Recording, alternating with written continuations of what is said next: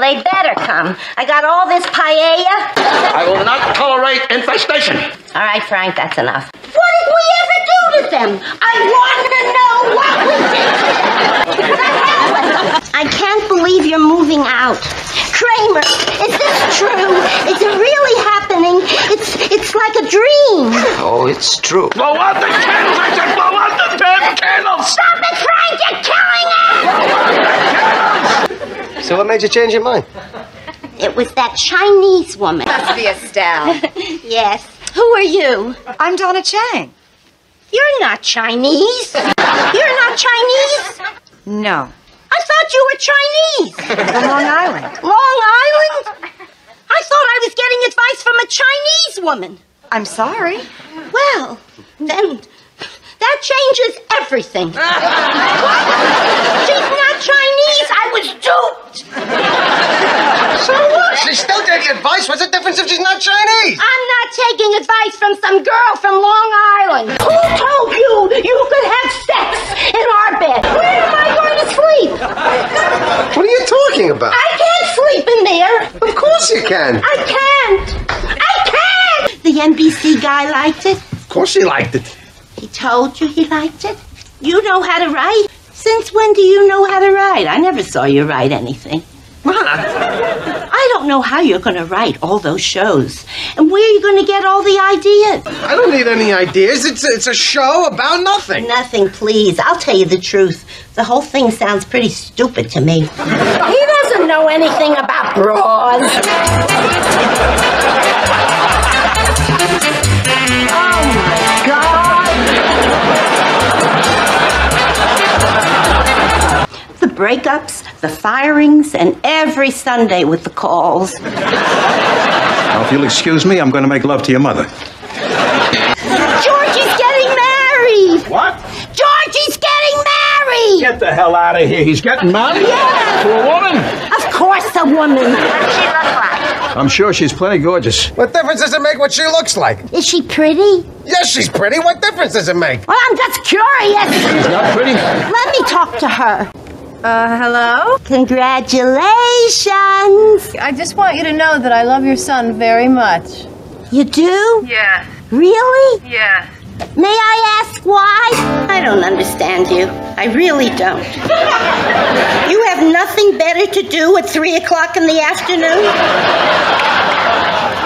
I go out for a quart of milk. I come home and find my son treating his body like it was an amusement park. Ma, Don't give me ma. It's a good thing I didn't hit the table. I could have cracked my head open. people can hear you. Too bad you can't do that for a living. You'd be very successful at it.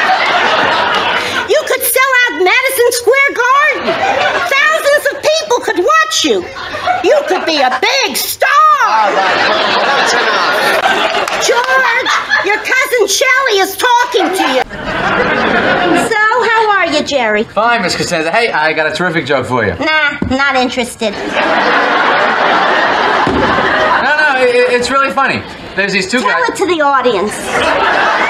Nobody eats bologna anymore. What are you talking about? Have a sandwich. No thanks.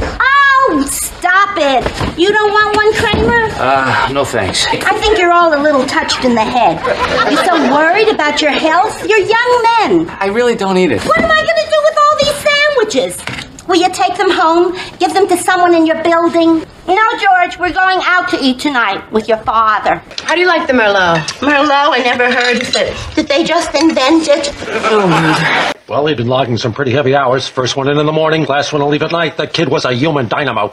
Are you sure you're talking about George? Well, come on. All right, all right, let's not get into panic mode. Let's not make a big deal out of this thing, and we're never going to get through this night. Well, I'm meeting your in-laws. I think I should look nice. I don't like that tie. What's the matter with this tie? I've hardly worn it. It's too thin. They're wearing wide now. Go to any office building on 7th Avenue and tell me if there's anyone there wearing a thin tie like that. Go ahead. The mother seems to hit the sauce pretty hard. I didn't like that. And who doesn't serve cake after a meal? It is a big deal. You're supposed to serve cake after a meal. We're sitting there like idiots, drinking coffee. without a piece of cake?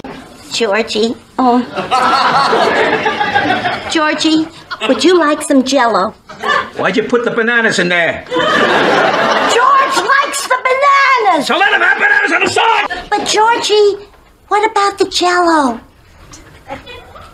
I'll take it to my room. You know, I was thinking today. I never liked those Seinfelds anyway. He's an idiot altogether. What do you mean you felt on material? What, with your fingers like this? So what? What's so bad about that? Who goes around feeling people's material? What can be gained by feeling a person's material? It's insanity. Whatever why? That's a lovely dress you have on. May I have this dance?